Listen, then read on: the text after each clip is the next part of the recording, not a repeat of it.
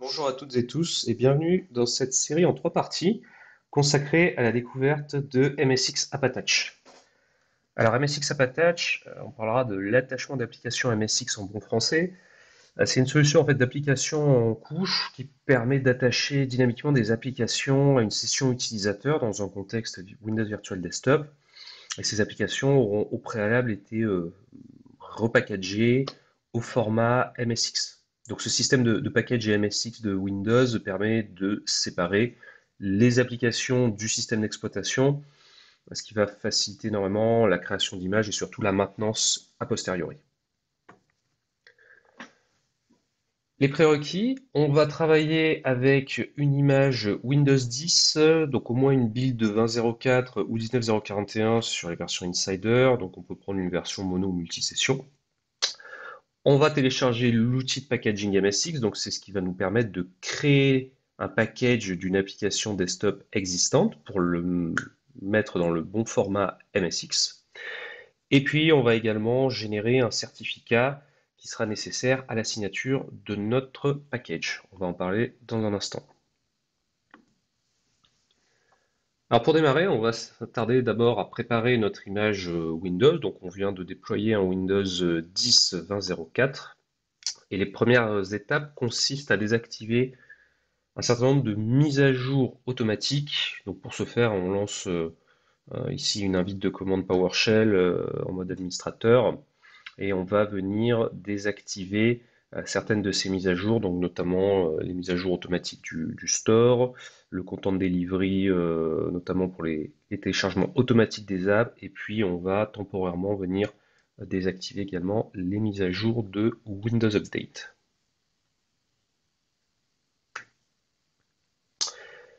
Une fois que ceci est fait, on va maintenant devoir créer un certificat, puisque euh, dès lors qu'on va travailler avec le format MSX, la signature en fait de ce package d'applications est une étape obligatoire pour pouvoir déployer cette application sur tout système Windows 10. Hein.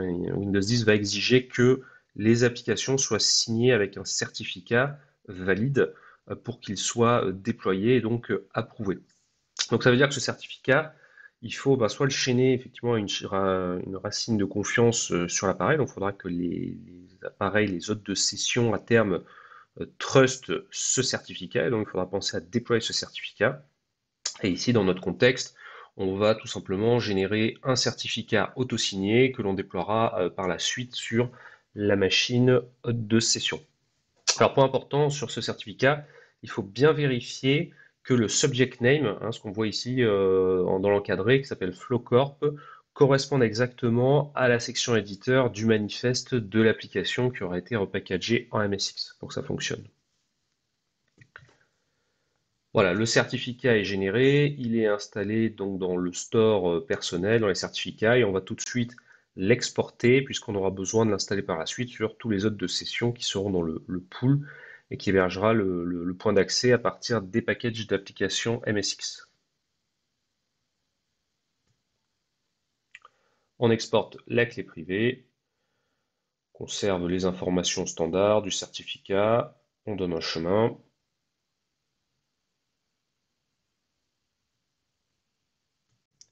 Maintenant qu'on vient d'exporter notre certificat, on va aller récupérer l'outil de packaging MSX. Donc pour ce faire, on ouvre le Microsoft Store et dans la barre de recherche, on tape tout simplement MSX Packaging Tool, ce qui nous amène ici sur la page de cette euh, application que l'on télécharge, donc l'on installe. Et cet outil euh, d'empaquetage euh, MSX va nous permettre en fait de créer les packages d'applications MSX à partir bah, des formats d'installation d'applications desktop traditionnelles. Donc on est un MSI en source, un .exe, un click once, éventuellement une bulle applicative APPV, voire un script ou même une application qui s'installerait manuellement. Donc c'est cet outil qui va nous permettre de faire le repackaging. On installe, on a la confirmation qu'il a bien été installé, et on va télécharger ici pour ce premier packaging, une application bien connue qui est Notepad++, et on va prendre dans une des dernières versions, donc la 7.8.8. On peut maintenant démarrer le repackaging MSX de Notepad++, dont on vient de récupérer l'exécutable. Je viens aussi au niveau du menu démarrer, je lance directement l'application MSX Packaging, donc l'outil dans qui se présente ici sous la forme d'une petite interface graphique. Alors il y a aussi une version ligne de commande pour euh, euh, traiter de façon un peu plus industrielle le repackaging. Mais ici, pour ce premier empaquetage, cette découverte, on va se servir de l'aiguille. Je clique à présent sur l'option de gauche de créer un package applicatif. On récupère la première option, on va créer ce package MSX directement sur cet ordinateur de référence. Et j'arrive ici à une première euh, étape de préparation de l'ordinateur. Donc en fait, le programme a besoin d'un pilote particulier, le pilote donc de l'outil d'empaquetage MSX qui est requis, et l'outil va tenter de l'activer euh, automatiquement. Donc il va vérifier si le pilote est installé tout simplement avec, euh, avec des ISM.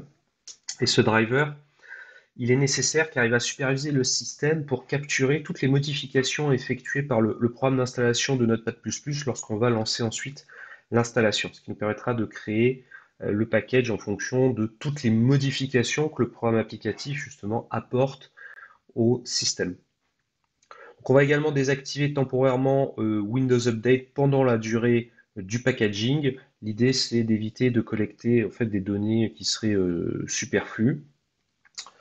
On note aussi qu'il y a une section Pending Reboot qui est décochée par défaut alors, on devra redémarrer euh, éventuellement l'ordinateur, puis relancer l'outil si toutefois le système nous signalait qu'il y a des opérations en attente qui nécessitaient un redémarrage. Donc, ce n'est pas obligatoire, mais recommandé.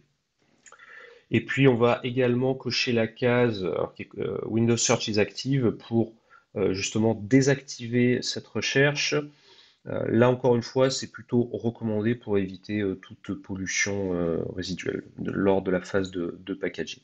Et donc, une fois que le, driver est bien installé et qu'on a désactivé euh, la recherche Windows, on va pouvoir passer à la section suivante en cliquant sur Next. Voilà, ici, je vais venir choisir la source d'installation de mon application. Donc là, je mets euh, le chemin vers l'exécutable de Notepad++. Et puis, euh, on va choisir dans ce cadre une préférence pour la signature du package. Donc on voit qu'on a ici plusieurs options de signature. éventuellement, on pourrait créer le package et le signer euh, ultérieurement. Et euh, dans notre contexte, comme on a déjà généré un certificat au format euh, PFX, on va immédiatement choisir cette option. Donc il va nous demander notamment de renseigner le mot de passe associé. Et en option, alors ce serait assez recommandé pour des scénarios de production, on peut utiliser l'horodatage, euh, puisque l'horodateur, en fait, lors de la signature de l'application avec un certificat, permet de conserver la signature, ce qui permet au, en fait, au package d'application d'être accepté par la, plateforme cible, euh, même une fois que le certificat aura expiré. On passe ensuite à la section qui nous permet de renseigner des informations concernant ce package. on va pouvoir indiquer le nom, le nom d'affichage. On voit au passage ici hein, que le nom de mon éditeur est bien, euh, correspond bien au subject name qui a été euh, donc indiqué lors de la création du certificat. Et puis je peux préciser donc la version de euh, Notepad++ que je package et ainsi qu'une petite description il y a une petite option dont on ne va pas se servir ici qui permet d'apporter le support euh, MSX Core pour les versions euh, Windows euh, antérieures à, Windows 10 17.09. Donc c'est un, projet open source, hein, cette partie MSX Core, qui permet justement d'avoir une rétrocompatibilité, mais on n'en a pas besoin dans ce, dans ce cas de figure ici.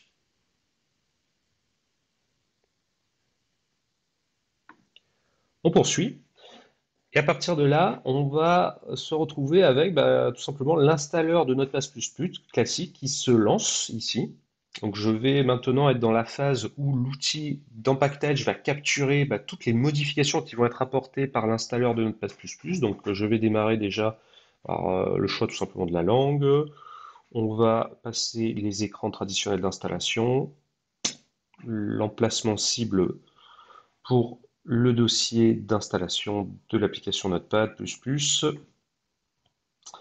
Et ici, alors assez important, assurez-vous, quel que soit d'ailleurs le type d'application que vous allez euh, vouloir repackager en MSX6 dans le contexte de AppAttach pour Windows Virtual Desktop, de bien décocher tout ce qui pourrait être lié à des mises à jour automatiques de l'application. Hein, le, format MSX AppAttach pour Windows Virtual Desktop, on verra par la suite, ce sont des conteneurs qui sont en lecture seule, donc évidemment, les mises à jour automatiques qui euh, iraient écrire ne fonctionneront pas. C'est pour ça qu'il faut bien s'assurer de désactiver ce genre d'options. À partir de là, on peut poursuivre l'installation. On va cliquer sur Installer. On laisse dérouler le setup et on termine Voilà, ici, j'ai pas nécessairement besoin de redémarrer le système suite à cette installation, donc je peux tout de suite passer à la partie suivante. Donc on voit euh, dans cette section ici qu'il a bien euh, capturé le point d'entrée en fait de l'installation euh, et notamment donc de l'exécutable notepad++.exe pour pouvoir lancer cette application une fois repackagée. S'il était nécessaire de d'ajouter des plugins ou éventuellement euh, d'autres applications dans le cadre d'une application composite à ce package MSX, on pourrait éventuellement euh, ici venir rajouter ces éléments-là. Mais comme on est sur une application très simple, on n'a pas besoin de, le faire, donc on peut passer à la suite. On confirme qu'on a bien capturé tout ce qui était nécessaire. On n'a pas de service Windows détecté non plus. Donc là, encore une fois, on peut euh, passer à la dernière étape cette fois-ci. Et maintenant, il va me proposer bah, de choisir l'emplacement vers lequel je souhaite sauvegarder le package MSX euh, sur l'ordinateur ou directement sur le réseau. Donc je vais le mettre ici sur mon desktop et je clique sur Créer. On voit que le package ici apparaît à gauche. Alors par la suite, s'il y a besoin de faire des modifications à ce package MSX, on peut bien sûr le retravailler. On a l'éditeur qui est euh, disponible pour cela. Et on peut confirmer que notre package de Notepad++ dans sa version 7.8.8 a bien été créé. On se récupère ici donc un format de fichier .msx qui va nous être utile pour les prochaines parties de ce tutoriel sur MSX AppAttach.